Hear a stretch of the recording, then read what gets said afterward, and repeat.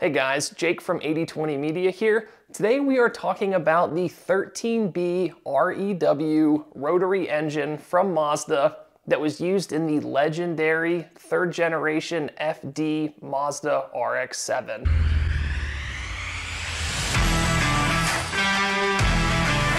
The RX-7 was such an awesome car. It came from the factory with a sequential twin turbo system that made good power from the factory, but it's also capable of handling about 700 wheel horsepower on a completely stock motor. The RX-7 is a fantastic platform, and Mazda ultimately went very wrong in creating the RX-8, which I have talked about previously since I owned an RX-8 for about seven years. The RX-8 switched to a naturally aspirated platform platform. It was less reliable than the RX-7's engine and it made less power. Plus they went and added two half doors onto the back of it, which ultimately really took away from what the RX-7 was. Now, Mazda did unveil a Mazda SP, which is said to be based off of the RX-7. It's gonna have an electric motor and a rotary backup motor with it to be a hybrid vehicle. The reason they opted for a rotary plus electric to make it hybrid is probably because of fuel efficiency, but also probably because Mazda has not had a whole lot of success from a reliability standpoint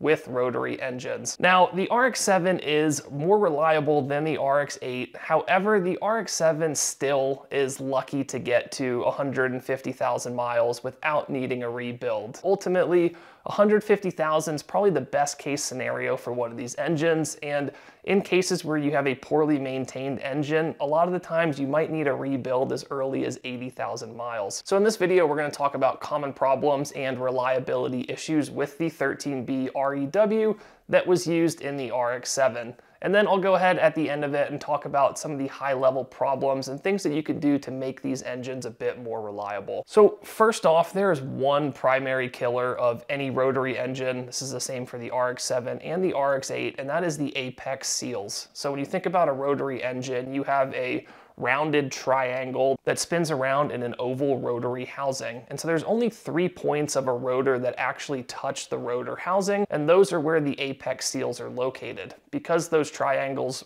actually contact metal, they have to be lubricated. And so on the end of each one of those triangular tips, you have an apex seal, and the apex seal's responsibility is for letting oil out of it to lubricate the rotor housing. The apex seals are the primary failure point of any rotary engine, especially the 13B REW. And if your engine needs a rebuild, it's likely because the apex seals failed, which ended up causing low compression. Ultimately, what happens is these seals start to leak. Once the seals start to leak, you lose compression and of course get a number of other performance related issues from that.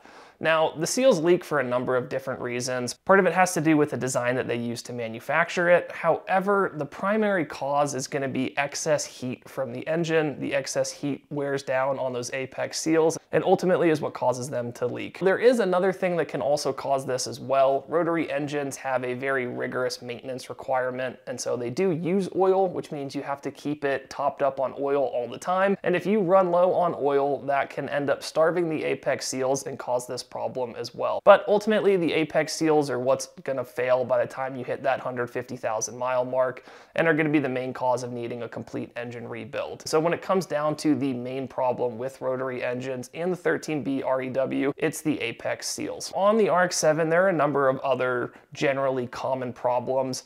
A lot of these common problems stem from the fact that the sequential twin turbocharger system on these vehicles creates a lot of excess engine heat. Because of that, one common thing is catalytic converter failure. There are two catalytic converters in the FD3S 13B REW. The first one sits within the downpipe and then there is a second main unit that sits behind the downpipe. And what happens because of all of this excess heat is that the primary catalytic converter in the downpipe ends up burning up and then it clogs the secondary main catalytic converter. Clogging the catalytic converter ultimately ends in exhaust gas temperatures and a ton of excess engine heat. And that is something that can then lead to your apex seals failing as well. Just worth it to know that the catalytic converters do fail frequently because of the amount amount of heat that this engine produces. And so from a reliability standpoint and to help with engine cooling, it's a great upgrade to go ahead and install catless downpipes, albeit that might be a little bit more questionable from an emission standpoint. In addition to catalytic converter problems, you also have a number of problems with vacuum hoses, radiator and cooling hoses, and the wiring harnesses located within the engine bay. Again, a lot of this stems from the amount of heat that's produced by the turbocharger setup on this engine. Despite the 13B REW being a pretty small 1.3 liter motor,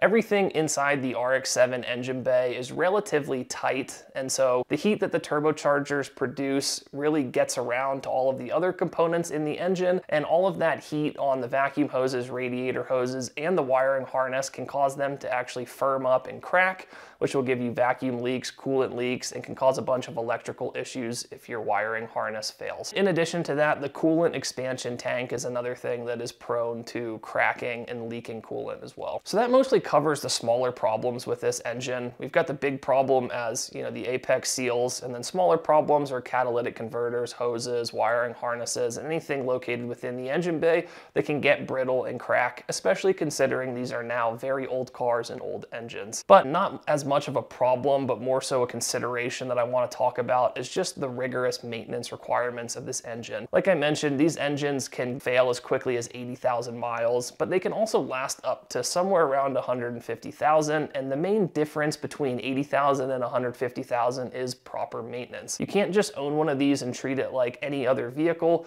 You have to understand the requirements of a rotary engine and maintain it properly Otherwise, you're gonna be living a little bit closer to that 80,000 mile mark versus being able to maximize longevity and reliability from these engines. So the considerations here are one, you know, these engines use oil. Because we're feeding oil into the combustion chamber via the apex seals, these engines consume oil, and so you have to keep them frequently topped up on oil. People that don't know that are ultimately the ones that end up running low on oil. You starve your engine of oil and you lead to premature engine failure. In addition to that, you wanna do oil change changes a lot more frequently on rotary engines than you do on a traditional vehicle. I'd recommend every three to 4,000 miles doing an oil change. And you also are not supposed to use synthetic oil. And so you need to be careful, not just going and buying the synthetic stuff that they have on the shelves at auto stores. You have to use proper non-synthetic oil for these engines. In addition to that, you never want to shut the engine off cold.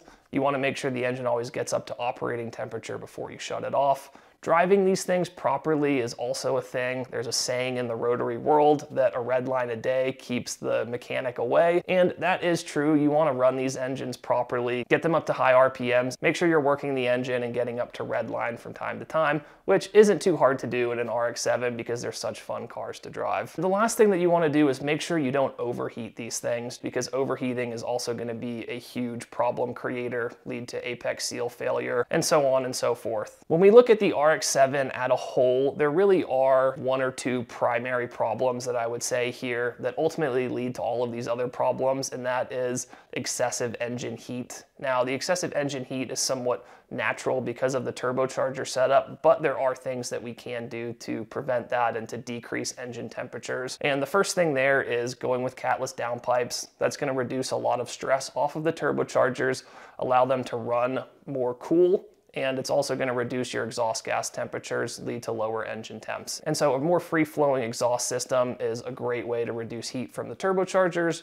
but then also you want to make sure that your cooling system is working properly, and doing some cooling system upgrades is a great idea as well, just to maximize the cooling efficiency of these engines, because we really want to keep them as cool as possible to be able to maximize reliability. So ultimately, the RX-7 13B REW is gonna need to be rebuilt at some point. You're not gonna get 200, 300,000 miles out of one of these engines without needing an engine rebuild. It's just the way that it goes, and it's part of owning a rotary engine. At least on these vehicles, you can make a lot of power from the factory with just a completely stock motor, and so that makes them really fun to modify just know that once you start modifying these things, you are of course opening the door for a lot more problems from a reliability standpoint. If you take care of these engines properly, you can get up to the 120, 150,000 mile mark without needing a rebuild. However, if you slack on maintenance, oil changes, adding oil to the engine, and you don't keep an eye on engine temperatures, then you're gonna start looking at needing a rebuild before the 100,000 mile mark. So ultimately guys, these 13B REW engines in the RX-7, it's hard to consider consider them reliable, so to speak. I will say that it is more reliable than the one in the RX-8, which is where they completely went wrong, giving us a weaker naturally aspirated engine that is even less reliable than a twin turbocharged 13B REW.